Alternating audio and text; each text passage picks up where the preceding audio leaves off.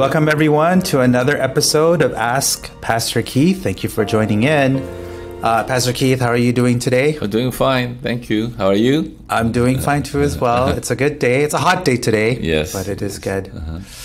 Uh, so, we have a question here for day, uh, today uh, to, for you. And so, the question is if I have a friend uh, who is gay and I'm invited to their wedding, what should I do? Am I accepting his or her uh, lifestyle uh, if I go? Wow, that's a you know very interesting uh, question. Uh, very complicated, especially these days.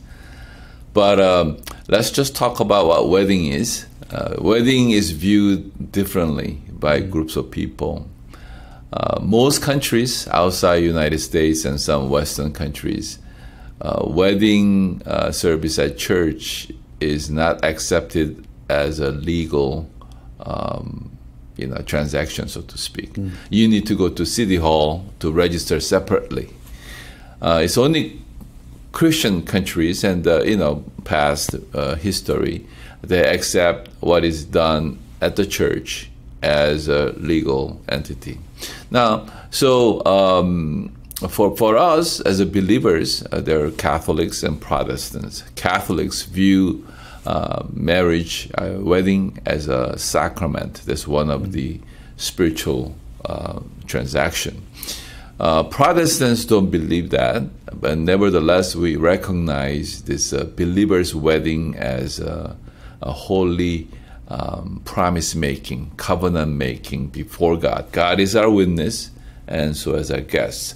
Now, so when you put it in that perspective, uh, the LGBTQ or gay community wedding with a Christian flavor is that a real um, service before God?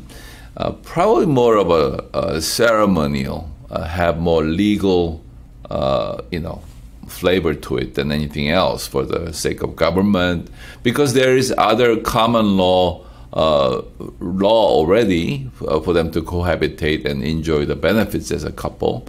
Um, but they want to make it more um, official or celebratory and whatnot. So we want to kind of distinguish that because uh, I think it matters uh, if the gay marriage uh, wedding is, is uh, portrayed as a Christian holy covenant making before God. I don't think that's consistent with what the scripture is saying. For at least that's what I believe, and the you know, community believes as a word of God, as a, with a high respect for it.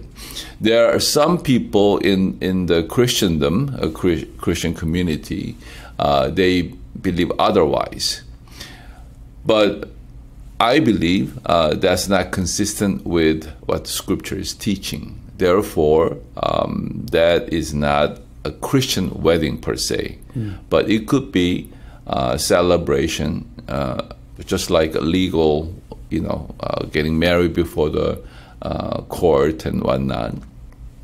So, having said all that, uh, I think there's another factor involved. That is uh, your friend uh, as as a gay person, and and what kind of relationship you have. Uh, and I think if there's enough relationship that you you want to uh, you know be part of his uh, life uh, and and keep the bridge of communication open so you can more freely share the gospel and I think uh, it is not wrong uh, to be there uh, in that person's very important day for that person. No matter it's right or wrong whether you agree or not uh, keeping that uh, communication line open.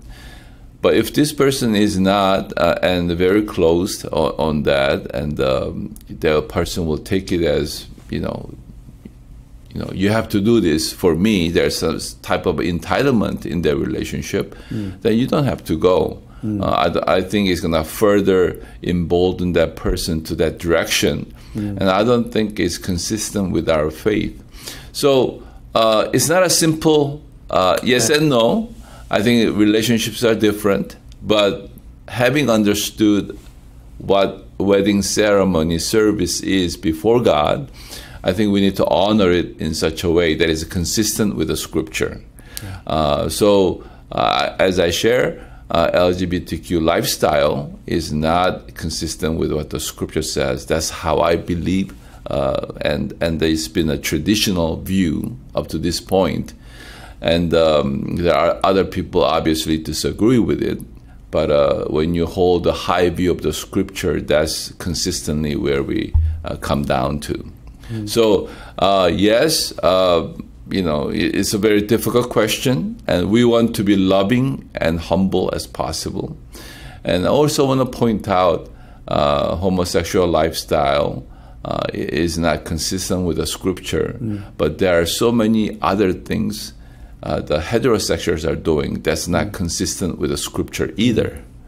So it is not the worst sin, and it doesn't define you as a person in two dimensional way. Mm. There are so many other things in our life uh, that defines us as a person, person before God, and because of that, we need to be humble yeah. uh, and uh, you know treat it in such a way, in a very balanced way.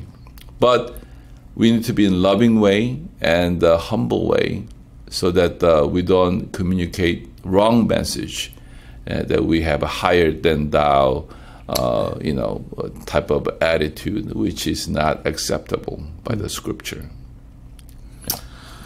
wow yes uh, thank you so much pastor keith for sharing your thoughts and wisdom uh, and the word of god mm. in this um, very difficult um, topic and so thank you so much. And uh, continue to tune in each week uh, for Ask Pastor Keith series. And we look forward to seeing you again on our next episode. Bye.